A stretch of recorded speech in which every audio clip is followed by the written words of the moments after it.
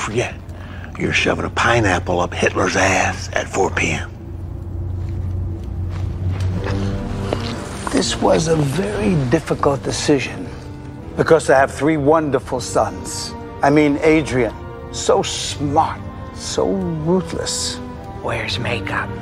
And Cassius, so strong, so tough. Don't forget clinically insane. And Nicky,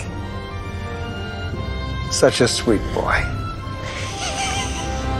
But after much thought and careful consideration, I've decided that the ruler for the next 10,000 years is going to have to be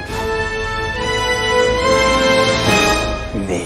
What? Hallelujah. I mean, that sucks. The important thing for the stability of our rule is to maintain the balance between good and evil. And I don't think any of you are ready for that responsibility yet. Dad, this is bullshit. I don't like that language. right, right. Send him in. I'm sorry, boys. I have to get back to work. It was good hanging with you, Dad. I'll check you later.